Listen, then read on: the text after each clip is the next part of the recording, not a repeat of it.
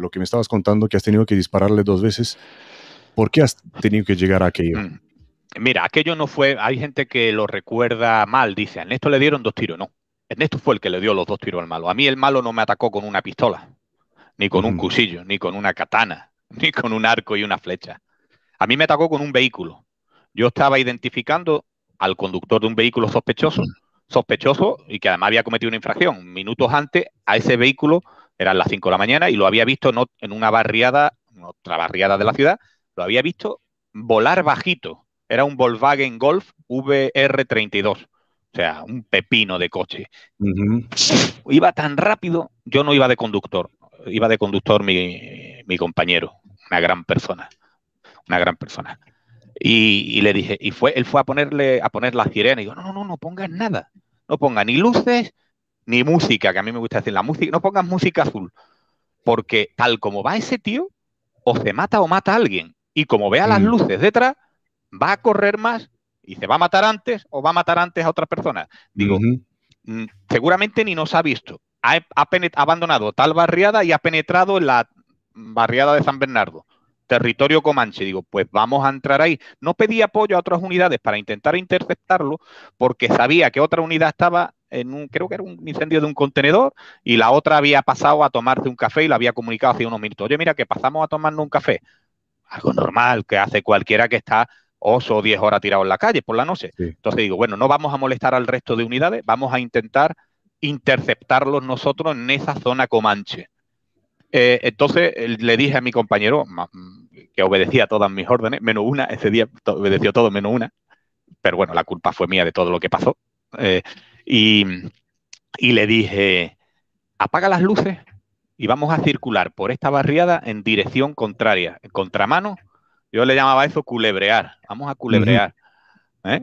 Como, mm, eh, y vamos a meternos por direcciones prohibidas con las luces apagadas. Si el tío sigue dando vueltas por aquí, nos lo van, se van a encontrar con nosotros. A lo, a sumo nos va a chocar a nosotros, pero estamos ya prevenidos. Y lo más probable, pensé yo, es que lo encontremos haciendo algo. Yo pensé que lo encontraría comprando cocaína, porque entró en una zona en la que digo, este tío va a comprar coca seguro. Y bueno, después de varios minutos culebreando, nos lo encontramos con las luces apagadas debajo de una farola cerca de un punto de venta de cocaína. Y le dije a mi compañero, él estaba, él estaba estacionado de modo tal que él solo, que no podía salir hacia adelante. Y entonces yo le dije a mi compañero, ponte detrás, ponte detrás. Mi intención era, a ver si lo puedo poner así, colocarnos aquí detrás a distancia prudencial, como él no podía salir hacia adelante, a ver, así. Como no podía salir hacia adelante, nos ponemos detrás a 3, 4 metros, le metemos la larga. Es todo eso lo pensé yo.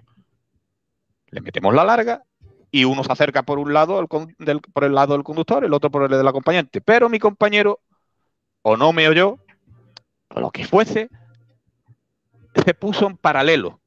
Yo debí decirle, tira para atrás. Pero dijo, bueno, no hemos puesto en paralelo y el conductor no se ha dado cuenta que estamos a su lado. Y no se ha dado cuenta porque para mí, y esto es una de las cosas que no recuerdo, para mí que estaba en este, haciendo este gesto, el conductor, como posiblemente, yo creo que metiéndose una raya de cocaína junto con su acompañante que lo tenía aquí sentado. Entonces yo mm. creo que por eso, que creo que por eso no nos vio llegar. Y cuando yo mm.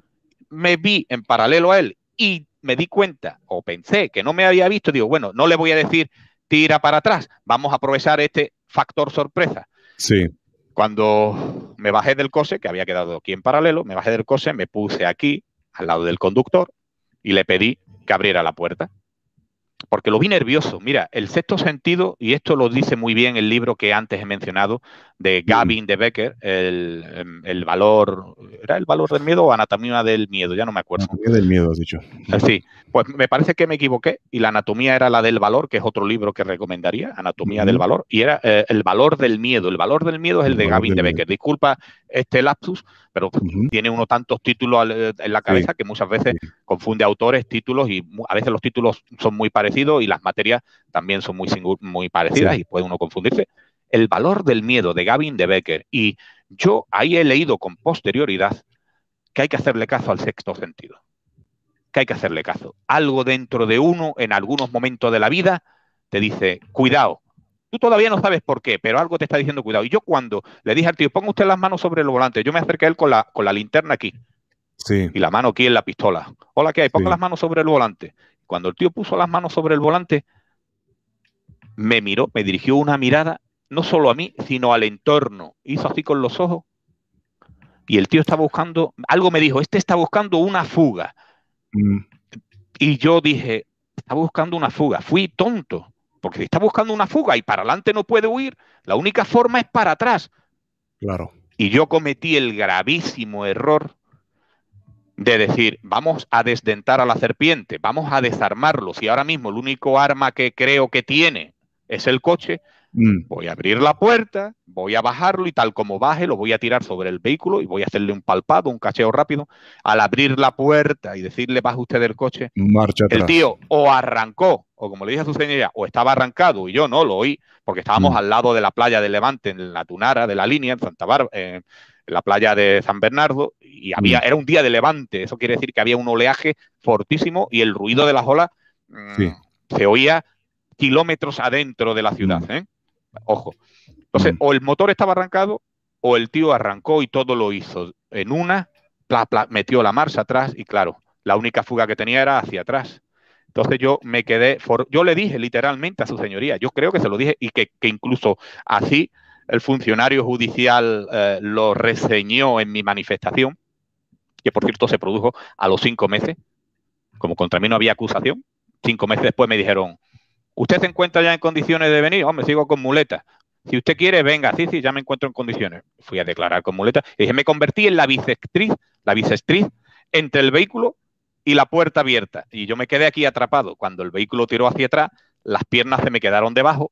Suerte para mí que la ventanilla del Volkswagen Golf estaba bajada. Metí el brazo a modo de gancho. Esto, mm. esto es puro instinto. Eso sale ahí el mono el mono que somos, el mono 3.0 mm. del siglo XXI. Se metió el brazo ahí y el vehículo salió como un rayo hacia atrás y describiendo un giro, por lo que mi, cuerpo se cerró con las piernas debajo del coche, mi, brazo derecho, que era el que podía sacar el arma, mm. que finalmente lo saqué, este se quedó pegado al, al vehículo las piernas ahí debajo y yo agarrado, yo, yo cada vez estaba más bajo, más bajo. Yo no veía al individuo, de hecho yo no recuerdo. ¿El vehículo seguía yendo marcha atrás o ya...? Marcha atrás, marcha atrás. Según científicas, 60 metros. Y yo te puedo decir que esos 60 metros los hizo en un segundo. No, no, pudo, no pudo ser en, más de un segundo. Fue un visto y no mm. visto. Una violencia, una virulencia, una velocidad mm, impactante. De hecho, cuando terminó de hacer este giro y ya vio ángulo para poder irse, mm el coche frenó en seco. Pero eso lo supe semanas después, cuando mi compañero me dijo, porque dije yo, hay que ver que el tío chocó contra el edificio de atrás. Y dice, no, no, no chocó, frenó. ¿Por qué pensé yo? Esto, todo esto son elucubraciones mías con el pas que, a las que, me atrevo, a las que me atrevo a darle carácter de veracidad, porque han pasado años, he leído, he visto informes y digo, esto fue así. Yo siempre mm. pensé, los primeros días, pensé que el coche al hacer esto había clac, chocado contra el edificio que había atrás, porque yo mm. escuché un clac y fue la frenada tan brusca que dio. Pero frenó bruscamente para en menos de un segundo iniciar la marcha hacia adelante. Y ahora al salir hacia adelante, ahora hizo un giro en el otro sentido. Y entonces la puerta se abrió. Digamos que la, la primera fuerza física, hablando ahora un poco mm, eh, con, con tecnicismo físico, se produjo una fuerza, una fuerza física centípetra que me atraía hacia el centro al principio. Por eso el brazo, el cuerpo, como si fuese casi una, una fuerza G eh, que, que, me atraía hacia el interior del coche y de ahí que este, ay, perdona, de ahí que este brazo yo no lo podía mover y yo, yo, yo, le gritaba, yo me recuerdo gritándole, para, para, para, para. Y recuerdo que él gritaba, te mato, te mato, te mato. Pero cuando ya hizo este otro giro y la puerta se abrió, ahí se produjo una fuerza física que se llama centrífuga, que es mm. que me alejo del centro, mm. del centro de, de, de, ese objeto, de ese cuerpo al que yo iba asido, agarrado. Mm. Entonces, al abrirse ahí la puerta, este brazo me quedó libre y dirás tú, claro, y ahí tú, como el gran experto, dijiste, saco la pistola y disparo. Pues no. En ese momento, es verdad que el brazo me quedó libre, pero yo no empecé a disparar. Y si empecé a disparar, como le dije a tu señoría, no me acuerdo, porque me dijo, ¿en qué momento disparó usted? Yo juraría que fue porque una vez que el vehículo hizo este, eh, eh, este giro que te digo, que ya me permite abrir este, utilizar este brazo, el individuo encaró una calle, una calle que tenía vehículos estacionados en un lateral. Entonces él fue haciendo esto, pum, pum, pum, contra ocho vehículos, según policía científica, ¿eh? según los compañeros de la policía científica. De la, puerta. Y yo iba partiendo con la espalda y con la nuca, iba partiendo espejos retrovisores, ventanillas y abollando, dejando un hueco en las puertas con mi espalda. Y pum, y uno y otro. Y en un momento determinado, me dijo, ¿en qué momento? Me dijo su señoría, no lo sé, pero yo sé que como ya me veía con el brazo libre, saqué la pistola y realicé dos disparos al volante. Pensé que si el malo veía la pistola aquí y yo disparaba hacia el volante, pum, pum, dos taponazos, un doble tap. Yo había entrenado, yo por aquel entonces entrenaba series muy rápidas de dos disparos. Si quería hacer seis, hacía papam, papam, papam, papam. no, no los seis continuos, sino de dos en dos, pero muy seguido. Entonces digo, voy a hacer un doble tap. Bueno, no me lo dije, yo creo que salió el entrenamiento y la mentalización que tenía. El día que tenga que hacerlo lo voy a hacer y voy a hacerlo como he entrenado, porque uno no puede hacer nada más que aquello que sabe hacer y sabe hacer lo que ha entrenado. Y disparé al volante, iluso de mí, creyendo que si el malo veía aquí la pistola, disparándole al volante, el malo diría, oh, oh, me voy a parar. Un pepino. El tío no paró. Siguió y pon, y pon, y pon. Y yo ya no sé en qué momento, porque aparte de hacer todo eso, todas estas colisiones laterales, estos aplastamientos, me gritaba literalmente te mato, te mato. En realidad no decía te mato, fíjate tú qué cosa te voy a contar, decía lo mato, lo mato, lo mato.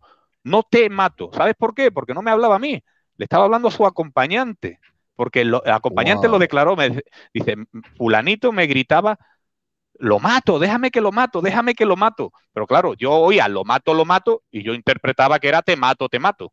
Bueno, era un artículo lo, ahí, un artículo indeterminado que no se dirigía a mí, sino a otra persona. Y, ya me dice la gente, o su señoría, bueno, ¿en qué momento disparó usted a las piernas? Porque sabemos que el tío tiene dos, dos impactos en el muslo izquierdo. Pues no recuerdo si fue en el primero, en el segundo, en el tercero, pero sí recuerdo que fue justo después de realizar los dos disparos al volante y no ver efecto positivo hacia mí, o sea, el tío no paró. Sí. No recuerdo si es que saqué la mano y en el siguiente intento de, o en el siguiente aplastamiento la metí, o es que nunca la saqué la mano de ahí dentro del habitáculo, pero yo cada vez estaba más descolgado, yo ya no veía al, al individuo. Entonces, en vez de dirigir la boca de fuego hacia el volante, hice esto y la puse casi en perpendicular con respecto al suelo sorté otro par de disparos, otro doble tap. Y pese a que creo que me dio una, una colisión más, ya mm. creo que fue la última, y ya el individuo se fue a toda velocidad conmigo arrastrando, yo arrastrando, arrastrando, cada vez más suelto de la ventanilla, hasta que me quedé allí tirado, revoleado, y el coche huyó, huyó, huyó, huyó.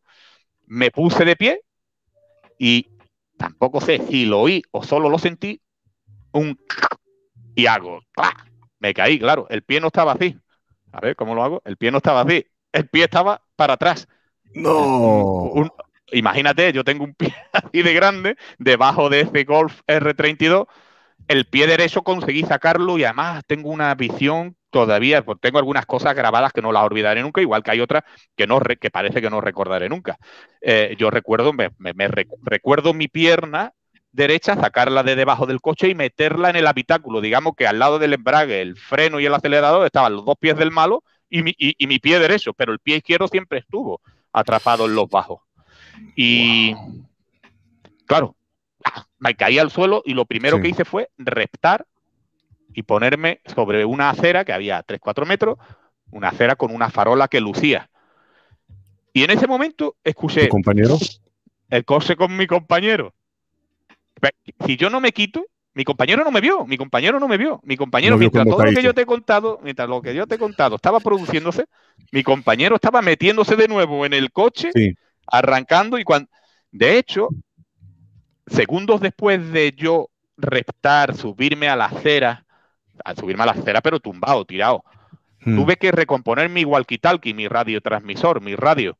Yo llevaba, como a mí me gustaba decirle, un orejófono con un pulsador aquí pequeñito Y todo eso, pues todo el cableado, bueno, la funda se había salido, el walkie se había deshecho, pero estaba todo dentro de la funda. Entonces, tirado así, fui tirando del cable, recompuse el, el, walkie y había un caos en las transmisiones de la jefatura, un caos, porque a mi compañero le había dado tiempo a decir, pues no recuerdo, sinceramente no recuerdo qué dijo, pero diría el que es Roma éramos nosotros, el indicativo, creo que éramos la Roma 120. Roma 120, disparos, lo que dijera, bueno, pues todas las unidades que estaban en servicio, no solo de mi unidad, o sea, no todos los coches patrullados solo de mi unidad, sino de la unidad especial, que yo ya no estaba en la unidad especial, pero había gente de la unidad especial esa noche de servicio, todo el mundo se movilizó y era un caos de transmisiones.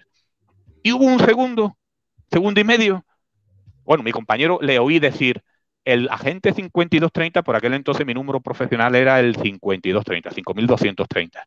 Luego me lo cambiaron y me jubilé siendo el 1, 2, 3, 4, 5, aunque parezca mentira, el 12.345. 1, 2, 3, 4, 5. En mis últimos años de servicio, ese es el que me tocó en Andalucía, ese número. Es casualidad. ¿eh?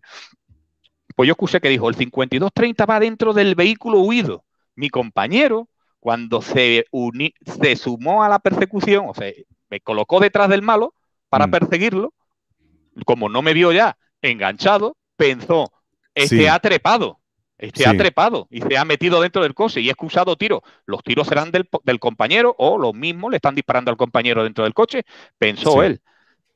Entonces yo dije, coño, que yo no voy dentro del coche, que no me van a buscar, no. Entonces hubo un segundo de silencio, un lapso ahí muy cortito de tiempo, que dije yo, el 52-30, 52-30 entre la calle tal y la calle tal. No tenía tampoco muy claro dónde me encontraba. Claro. Era, en, total eran 160 metros más allá de donde yo había parado el coche. Así que no tenía muy claro dónde me encontraba, porque había calles perpendiculares una detrás de otra. Y entonces ya eh, parece ser que entraron un montón de llamadas de vecinos. Era un territorio hostil con la policía y lo sigue siendo. De hecho, hace un mes ha habido unos gravísimos, gravísimos, gravísimos disturbios.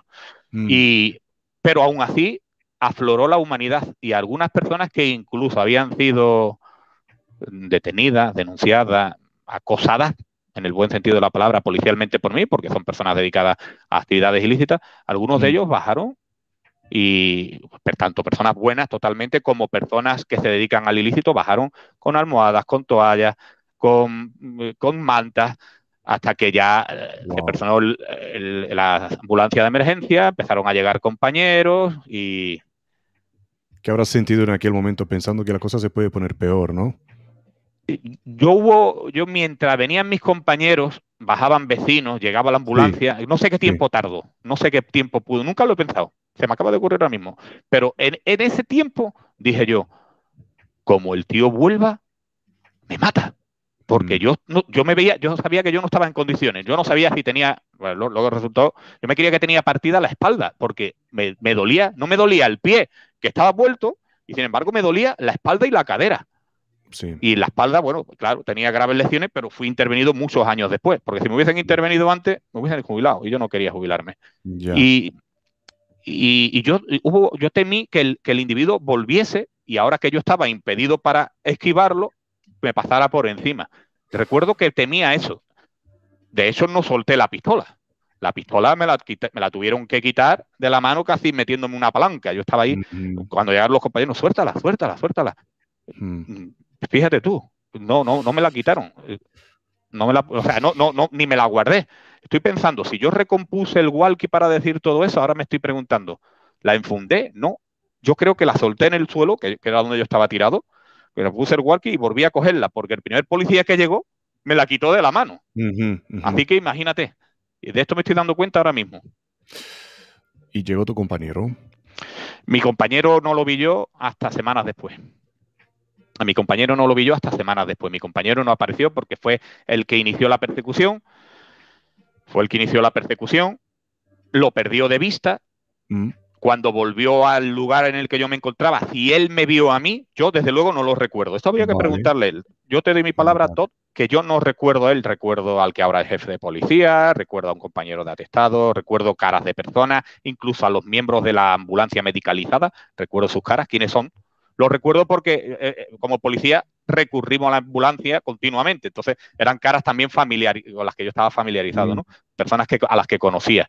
Y Pero el primer coche que, intercepta a los, al, huido es un coche camuflado nuestro de la policía local y era de la unidad especial, un coche camuflado de la unidad especial, de lo que ahora se llama URI, la unidad de respuesta inmediata, que lo vio venir con el faro partido y semidescolgado, faro izquierdo, ¿por qué? Porque era con el que iba golpeando, con su parte izquierda, que era la que yo iba asido, era con la que iba golpeando todos los coches contra los que me aplastaba. Entonces los compañeros dijeron, coño, viene ahí el coche este, con la matrícula extranjera, era una matrícula extranjera, de Gibraltar concretamente, y, con el faro, un faro medio descolgado, la puerta medio descolgada, claro, de mis ochenta y tantos kilos ahí y de lo tal. Y este fue, este coche camuflado, no se había enterado, llevaba, parece ser, que llevaba la emisora demasiado baja de volumen, y en el momento que se colocó de, y no se había enterado de lo que estaba ocurriendo, ¿eh? y cuando se colocó detrás y puso las luces para iniciar la persecución, o, cuando inició la persecución, cuando el malo vio eso, claro, era un R32. el nuestro creo que era un Seat León de 90 caballos, pues imagínate lo dejó atrás, lo dejó atrás, y este compañero, cuando, estos compañeros, cuando ya informaron por la emisora, oye, que vamos detrás de un coche de estas características, le dieron, el que lea eso esto a fulanito, coño, no nos hemos enterado. Por lo visto tenían muy bajita la emisora esa noche y no se habían enterado a tiempo, algo así me contaron. Y eh, este los perdió, los perdió, y, se los finalmente se encontraron el vehículo a tal velocidad iban y le sacó tanta ventaja al primer coche perseguidor que se encontraron el coche estrellado contra una glorieta, reventado, bim, boom. Los airbags afuera, mucha sangre en el asiento del conductor, que ahí es como yo supe que algunos disparos míos habrían tocado pelo, como digo yo, algunos habrían tocado carne, porque me dijeron, no, cuando estaba yo ya en el hospital me dijeron, el asiento está lleno de sangre, o sea que algún tiro le habrás dado. Y sí, con el, te voy a resumir ya un poco más porque te estoy aburriendo ya con todo esto. el chat está, está en silencio. Eh, estamos aquí todos así, al 100. Finalmente, pues tuve la suerte de que los dos tiros que dirigí con la intención de a ver si con suerte toco una pierna, algo del tren inferior, los dos entraron por el cuádriceps izquierdo, los dos salieron por la parte de atrás de la pierna, digamos, por la parte del bíceps femoral, pero uno salió cerca, entró muy demasiado cerca de la rodilla, salió con una angulación tal que además impactó en el gemelo de la pierna contraria. Y volvió, le impactó al gemelo de la pierna derecha y también salió de aquel gemelo. O sea, que hice dos disparos, tuve la suerte, eh, cuidado, tuve la suerte de que los dos entraron, no, me dijo su señoría, ¿y cómo pudo usted apuntar? Le tuve usted, señoría, esto no es apuntar, apuntar es esto otro. Yo dirigí el fuego hacia ahí pensando que por lo menos de dos, uno tocaría. Tuve la suerte de que los dos entraron. Y además, uno de los dos entraron, los dos salieron de la pierna y otro ingresó, otro de los proyectiles ingresó en la pierna contraria. Dos disparos, tres impactos. Eh, aún así, el tío huyó y ha estado en busca y captura 10 años. 10 años en busca y captura.